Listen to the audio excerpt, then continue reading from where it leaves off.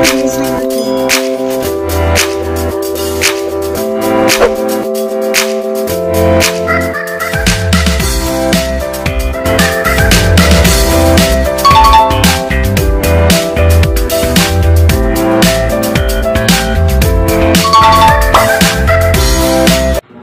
morning mga kasari, another day, another vlog, mga ganap sa araw na to. Ayan, nagbukas muna ako ng tindahan at naglinis ng aking harapan para naman maaliwalas tingnan para sa ating mga tumer. O ayan na yung first customer ko of the day. Hindi talaga mawawala yung kape sa umaga. Yan talaga lagi kong routine. Magkape, sa, magkape, mag-almusal at syempre magluto ng aming almusal dahil nga papasok sa trabaho ng aking asawa. At nag-request pa siya na magluto ako ng burger dahil babaunin niya sa trabaho para hindi na nga siya gumasos ng merienda, di ba? O makakatipid pa siya.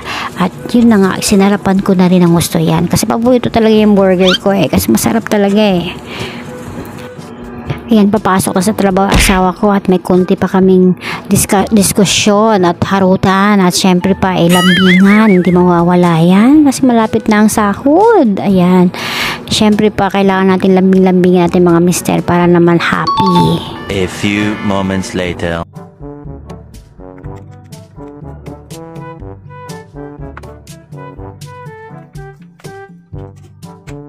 At dahil darating yung del- delivery ko ng ice cream mamaya, eh nagbilang ako ng barya para pandagdag ko sa pambayad. At importante din talaga guys ang barya sa sari-sari store. Kailangan lagi tayo may pamalit kasi may tendency kasi na pag wala kang pamalit, pwedeng lumipat sa ibang tinda yung ating mga tomer. At iwasan din natin yung pabarya ng pabarya kasi kawawa din tayo pag maubusan tayo ng mga pamalit. Kaya ayan guys, maya-maya dumating na nga yung aking delivery ng ice cream. At 6 boxes lang yan dahil yun nga nag-reorder ako kasi naubusan ako last Sunday pa. Alam mo naman dito sa sa, sa aking sari-sari store, mabenta yung mga tig 10 mga ice, ah, ice cream. Ayan na nga, habang wala nga masyadong bumibili, eh nagtaging na ako ng aking mga school supplies na binili namin last Sunday rin. Ayan, naubusan kasi ako ng notebook at lalong-lalo na yung mga ballpen, eh mabili talaga yung mga ballpen guys kasi yun nga, sa, gaya ng sabi ko sa inyo, malapit ako sa ah, school, high school. Kaya, ayan, mabili talaga yung mga ballpen at sign pen. At nagdagdag nga ako ng notebook kasi marami naghahanap ng composition. A few moments later. Guys, I'm back again. So, kung kaninang umaga eh, nagbukas ako. Ang dami kong ganap kaninang umaga. So, ngayon naman, ano man ginagawa ko pag sarado na. So, nagkataon naman today ay nag-grocery ako at hindi ko pa natapos. So, ayan guys. Grocery. Ayan, meron pa akong hindi talaga. Mga pinag-grocery ko kanina. Um, dahil wala na nga akong ah, yan, mga paninda masyado. So, nag-grocery ako. At hindi ko pa nga naayos sa dami kong ginawa. So, ngayon ako mag-aayos. Pero, it's about, ano na, 10 o'clock. So, parang, ah, parang yung katawang lupa ko ay gusto na magpahinga. Anyways, una kong ginagawa pag nag-grocery ako, syempre, una namang ginagawa ng mga sari-sari store owner, eh, syempre, nagtitingin ng resibo. Kanina, umabot lang ako sa 4,500 yung aking pinang-grocery. Ayan, so, una kong ginagawa, syempre, tataging ako kasi ang bilis magtaas ng mga pambilihan ngayon. Yun talaga lagi kong inuugali na ngayon. Minsan, importante din na lagi mong tingnan yung resibo mo kasi hindi lahat ng mga cashier ay perfect. So, sa mga tao lang din naman yan sila nagkakamali. So, marami kasing cases guys na pag nag-grocery ako at chine-check yung dinodobo, yung chine-check ko every item is marami akong nakitang mga let's say, mali entry, yan, na-inform ko agad yung budget ko, ini-inform ko agad na mali yung entry. Minsan naman, ah, sobra yung bigay nila sa akin, kaya ni-inform ko sila para ibalik ko din sa kanila.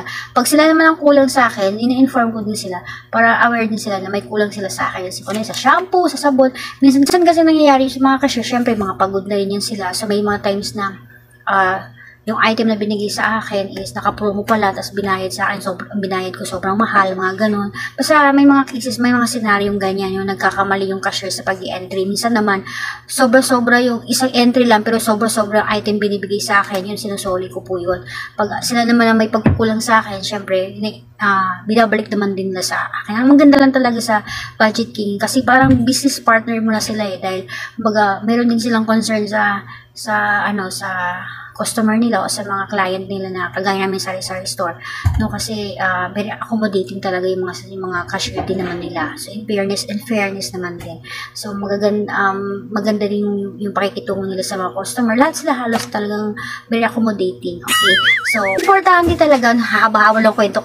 Importante talaga, tingnan natin yung resibo kasi para ma maano natin agad, makita natin agad, agad na may discrepancy sa mga pinamili natin. Kasi na rin, na, lagi ko na-experience yan talaga. Kaya, lagi ko talagang chinecheck. Ini-isa-isa ko. Pati nga, expiration date ni, ni isa-isa ko pa. Kasi sayang din po eh. Um, sayang din yung pera natin. Siyempre, piso-piso na lang kita natin. Tapos, uh, hindi pa uh, malulugi pa tayo sa isang item lang, di ba? Sa isang item lang mawala yan, guys, lugi ka na talaga. O tuwing magsasara na ako. So, yung usually ginagawa ko, kagaya niyan, meron akong grocery. Siyempre, magtataging ako kung kaya pa ng powers ko. Kasi gusto ko talaga, pag gising ko sa umaga, eh, may display agad ako. Hindi na ako yung um, nagkukumag po sa umaga nag-display. Pinipilit ko na sa gabi pa lang, tapos na yung trabaho. Kasi lang, siyempre, papagod din ako. Kaya, minsan, kinabukasan ko din tinatapos. So, wala tayong magawa kasi naman tayo, eh, busy-busy sa maghapon. So, dahil nga napag, napasarap yung kwentuhan natin, eh, magkakape muna ako. So, ayan.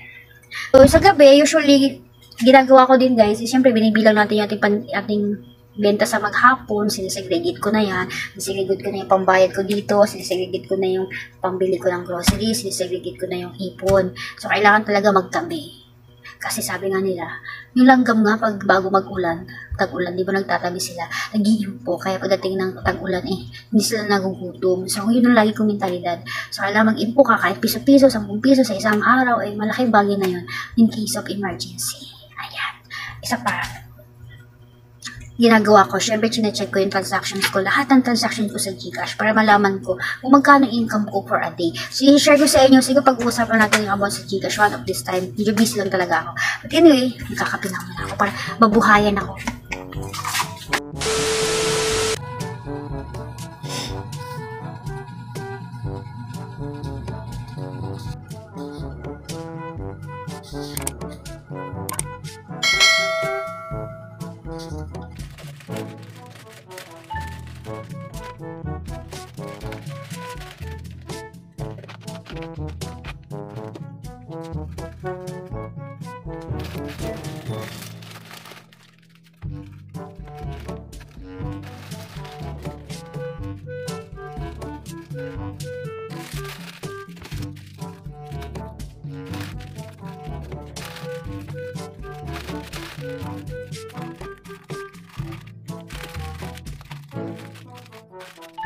Salamat